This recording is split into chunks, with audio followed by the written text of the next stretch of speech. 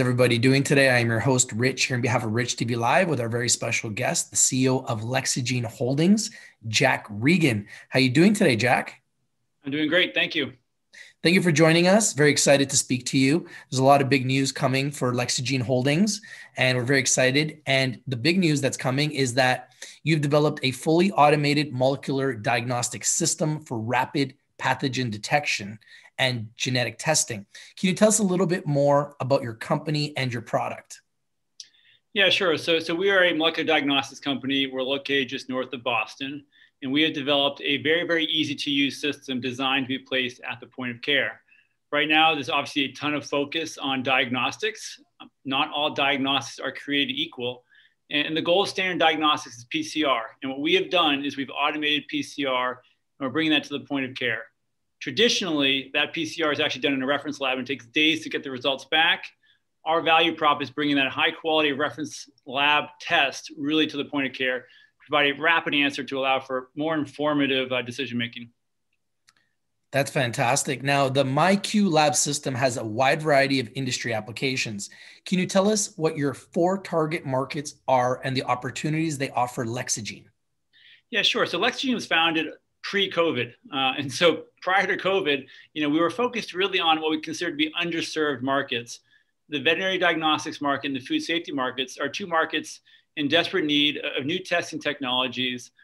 And those markets are underserved. And so it was a great opportunity for us to get in and provide, you know, high quality tests uh, with effectively no competition coronavirus came along and all of a sudden blew up the world, so to speak, and has been the focus of everybody today.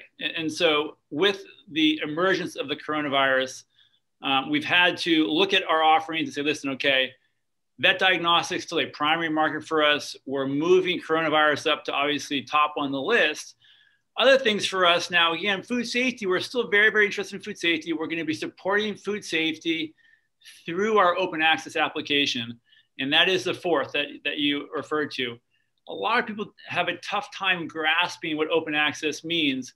And so if you think about open access, you know, what is it? It's sort of the ability of the end user to, um, if you will, customize the instrument to have it automate the test that they are interested in.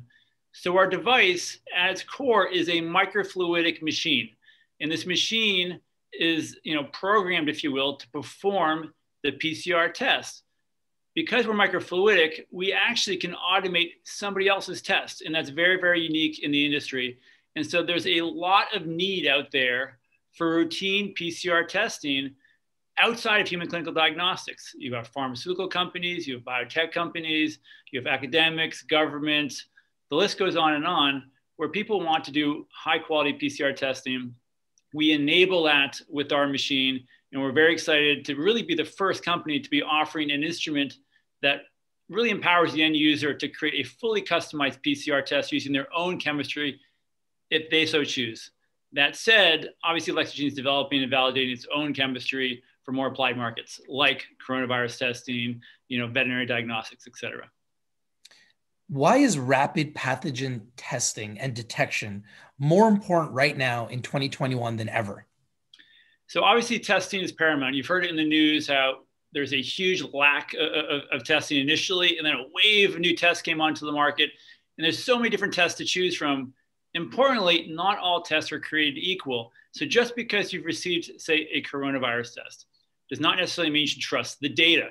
You know, right now the FDA is getting more and more, I would say, vocal, calling out tests which are performing subpar. A lot of technologies or companies pushed their technology onto the market uh, with, if you will, inflated claims about their sensitivity and their specificity. And the FDA is now getting caught up saying, hey, listen, you know, we've actually done some work on our end, and your instrument or your technology isn't as good as you claim. Buyer beware, you have a higher false negative rate and a higher false positive rate than has been uh, actually advertised. And so for testing, it's very, very important that you have faith in the data. There are too many tests being used today, which arguably are promoting the continued spread of, of this uh, pandemic. And, and that needs to stop. We need to start using technology, which is really considered a gold standard, to have that sensitivity, to have that specificity, so that when somebody gets tested, you have confidence in the results. And right now, with the antigen test and some of the isothermal tests, and for that matter, even some of the PCR tests, they aren't quite meeting the bar. And the FDA is starting to become much more vocal about calling those technologies out so that the buyers are aware of the risks and can really focus on higher quality diagnostics. And that's exactly where LexaGene fits in. Now, LexaGene has had a very, very busy 2020 and things have been moving really fast for you guys. Can you talk about some of the milestones that you hit in 2020 now that we're in 2021? Yeah, so you know we are still a young company. We are a growing company, and you know when a company is young and growing, it goes through transitions. Prior to I would argue December of this past year, we were really strictly an R and D company. Um, December we hit a very very major milestone, which was selling our first systems. We sold two systems in December. Granted, it's a um, an indication of the fact that we are now going to be hitting these markets hard in 2021. And so I want to focus on that milestone because it's a critical milestone. There are so many companies out there which make inflated claims and they never get their technology to the point where one, they can manufacture it, two, they can demonstrate need, and three, they can actually get buyers who have actually gone out, done their research, looked at the competition, and decide that your technology is the right solution for them. And it's been very, very gratifying for us. For instance, one of our press releases was when a contract drug manufacturer contacted us asking if they could if we could solve a problem for them. And their problem was this slow growing bacteria which ends up you know crashing out their bioreactors costing them hundreds of thousands if not millions of dollars if that happens. And their current solution isn't good enough because it's too slow. And they wanted to turn to genetics to see if it could solve the problem. They came to our facility checked us out gave us samples had us run those samples. And sure enough our technology was a great solution for them and they adopted it. It's a great example of how open access is so powerful because they came to us with the need. We very quickly configured the instrument uh, to meet their need. Likewise, on Vet Diagnostics, one of our early beta testers has adopted our technology. And so the fact that we're now selling, it, it's a huge, huge milestone for the company because it checks a lot of the boxes as far as, okay, you know, does the technology work? Can the company actually manufacture it? Can the company go through the transition of an R&D company to one that's supporting manufacturing, marketing, and sales? And we've done that. Are we completely through that process? No, we're not. We're still a growing company. Importantly, in 2021, we're really going to be gaining a lot of momentum. Now, when you're building a, a new business and you're going from an R&D company to a company that's selling products, like you talked about, there's going to be some challenging and exciting moments along the way. Can you talk about some of the most challenging and exciting moments you've had as a company?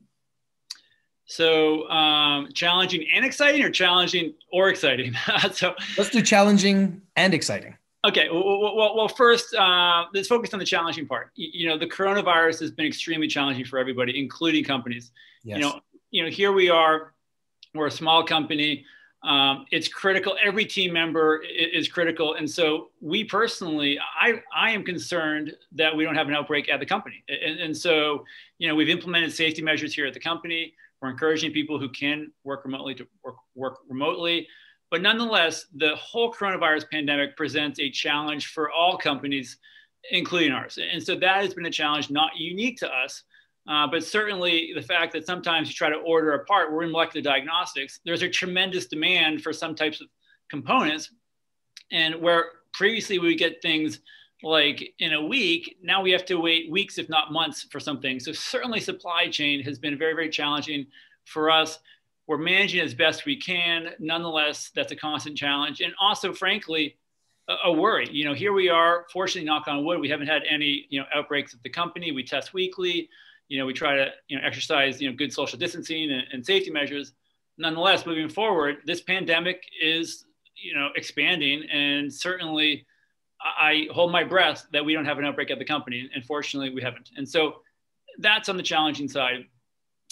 On the exciting side, you know, for me, it's been extremely gratifying, you know, having the company mature to the point that it's reached and getting that critical milestone of starting sales. Um, it's not an, an achievement that should be glossed over. So many companies never make it to the point that we've made it to and we're really just starting to roll. And so we're very excited about 2021, largely because we have plenty of, uh, of cap uh, uh, of cash in the treasury, and you know we have you know a deep sales funnel, and we're really looking forward to uh, execute on those sales in 2021. what should investors keep an eye on for LexaGene in 2021? Obviously, the year's just started. Everybody's excited. All companies have huge plans and goals that they want to roll out. What do we have in store for investors in 2021? So, LexaGene just started its EUA study uh, for coronavirus testing. And this is something that really the technology was built for. If you go back and look at my background, I did my PhD in influenza research. And wow. so, if you will, I'm an expert in influenza biology. And all along, we're thinking, okay, avian influenza is going to be the next pandemic. And, and, you know, that was most virologists' concern. And here we are. And, you know, obviously the coronavirus really started very, very late, you know, uh, 2019, but then really hit us in 2020. So, what can you expect out of LexaGene in, in 2021? And so, I, I've really transformed this company and pushed the team to, to go towards human clinical diagnostics earlier than we were expecting.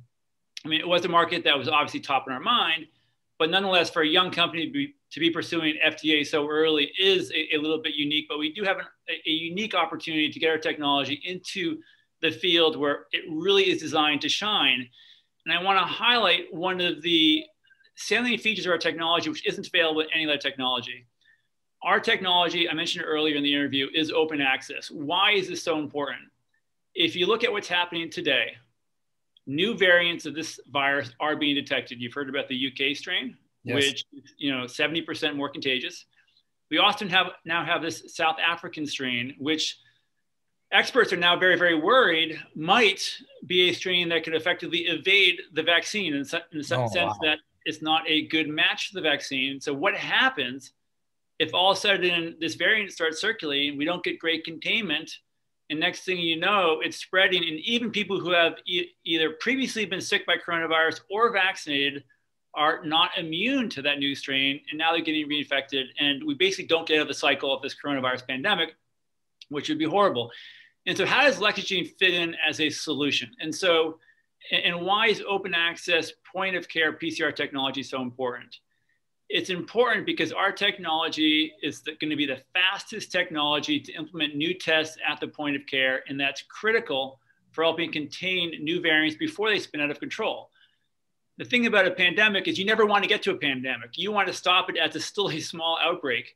And really, the only way to do that is have technology like LexaGene's MiQLab operating at the point of care, where it can very quickly be configured to detect new variants to help really contain the virus. Now, we're going to have investors from all over the world watching this video. We've already had some really good response from investors that think that your company is going to explode with FDA approval, that there's huge upside. Some people are saying crazy upside potential, which is really exciting. How can an investor get in contact directly with you, Jack, the CEO of LexaGene Holdings, if they're interested in investing or learning more about the company? Yeah, I really pride myself in being accessible. Uh, when possible, I try to directly respond to inquiries. Um, we have a web, a, uh, excuse me, an email address. It's ir at lexagene.com. I do get all those emails.